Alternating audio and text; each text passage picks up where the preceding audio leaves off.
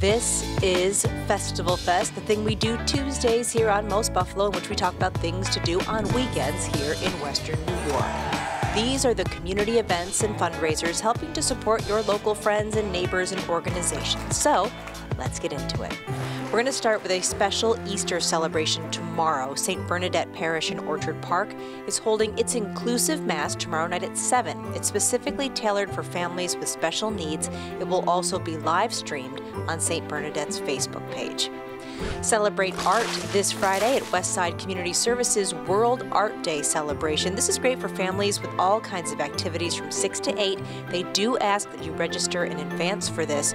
You can call 884 6616 or email info at wscsbuffalo.org and try your hand at painting this masterpiece at the winery at Marjim Manor on Sunday. Their taste and paint event allows budding artists to enjoy some wine while painting a cat with an umbrella pushing a stroller full of kittens. Reserve your spot at marjimmanor.com. The Buffalo Alumni chapter of Sigma Alpha Iota and Trinity Episcopal Church present an evening with internationally renowned opera singer Sarah Cambage along with pianist Wilson Sutherland tomorrow night at 7:30. It's right at Trinity Episcopal Church. Tickets are $20 general admission, $15 for students.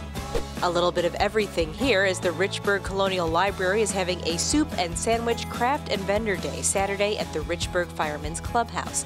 On Sunday, Variety Club and Reckless RC present their very first RC swap meet. It's 10 to 4 at the Variety Club headquarters in Lancaster. Our famous Appraisal Roadshow and Flea Market runs 9 to 3 Saturday at St. Mary of the Lake Hall in Hamburg. The Youngstown Presbyterian women promise something for everyone at their rummage sale on Saturday. And finally, let Central Park United Methodist Church handle dinner Thursday with their chicken barbecue. And that is Festival Fest for this week. Have an event you would like us to share? Please send us an email with all the info and your event flyer to festivalfest at wgrz.com. We have to scoot, but thanks for joining us for today's Most Buffalo. This is Kate Welshofer. Be well, stay well.